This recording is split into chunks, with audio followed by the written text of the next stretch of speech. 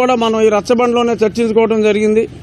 India today అనే ఒక ప్రముఖ జాతీయ పత్రిక మూడవ అతి గొప్ప ముఖ్యమంత్రిగా మా ముఖ్యమంత్రి గారిని కీర్తించడం జరిగింది. దానికి మేము కూడా అభినందించడం జరిగింది. ప్రజలందరూ కూడా వేణువల్ల పొగిడారు.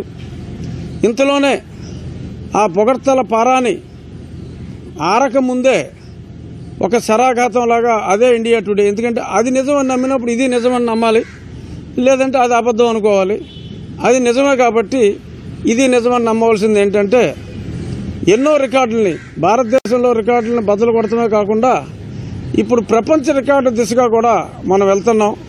ఆంధ్రప్రదేశ్ అనే ఒక చిన్న రాష్ట్రం అమెరికా అనే ఒక పెద్ద రాష్ట్రంతో కూడా పోటీ పడుతుంది.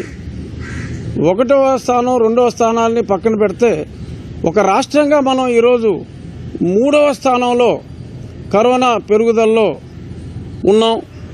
ఇవన్నీ కూడా గ్రాఫులతో సహా చూపెట్టడం జరిగింది. నిన్ననే యాజ్ పర్ స్టాటిస్టిక్స్ ఇది నేను చెప్పి లెక్క కాదు. తిరుమల తిరుపతి దేవస్థానం ఈఓ గారు సింగల్ గారు ఒక లెక్క ఇచ్చారు ఏంటంటే ఏడు వందల ముప్పై ఐదు మందికి కరోనా సోకిందని ఐదుగురు మృతి చెందారని ఇవ్వటం జరిగింది.